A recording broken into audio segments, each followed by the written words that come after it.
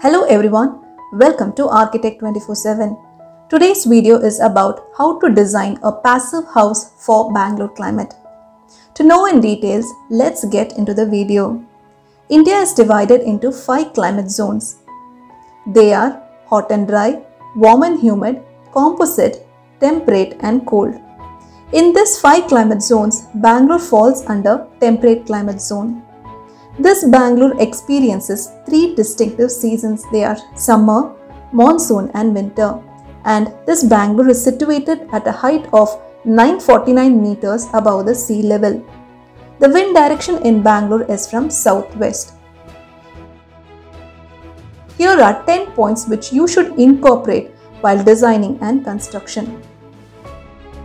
The first one is Make sure you place your building in such a way that the longer side of the building is facing the north and the south because this will reduce the solar radiation.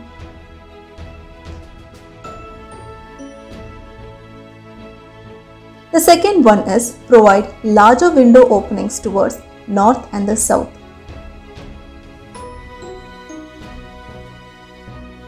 The third one is Make sure the west side is shaded by trees or green walls because this will reduce the sun's radiation from the west side. The fourth one is provide light shelves on the south wall for natural light throughout the day.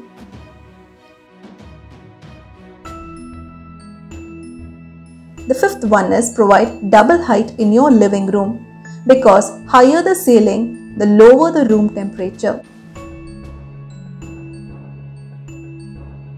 The sixth one is provide windows towards west and south direction because wind direction in Bangalore is from southwest.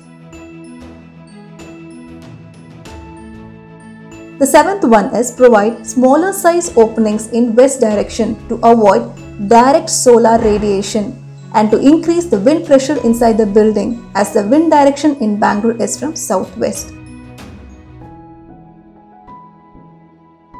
The eighth one is provide white paints, green roofs, glass tile or clay tiles on the roof. This will reflect the sun's radiation and will keep the building cool.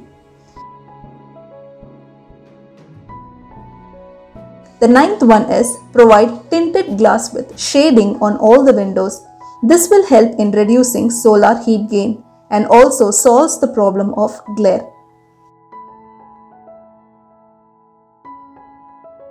The tenth one is provide skylight for natural light throughout the day. So these are the 10 points which you should incorporate for making your home a passive home in Bangalore. So if you like this video, give a thumbs up. If you find this video informative, share it with others and subscribe our channel. Thanks for watching.